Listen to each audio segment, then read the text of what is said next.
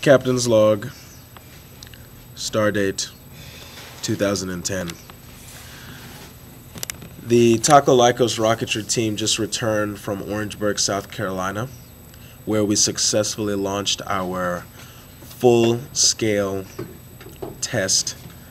Our rocket flew to an altitude of 5,220 feet, uh, 60 feet shy of the one mile marker and we safely recovered with all electronics, altimeters, and um, payload bay intact.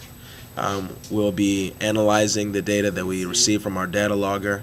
Uh, unfortunately, though, because of an, uh, a wiring uh, mishap, we ejected our main parachute at apogee, which uh, caused a pretty excessive drift. So we recovered the rocket but it was significantly further from the pad than we would have liked it.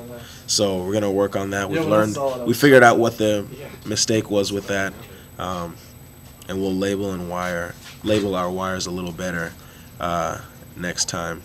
Everybody say hey to John. More updates coming soon. Thank you for supporting Tacho Lycos, where red means go.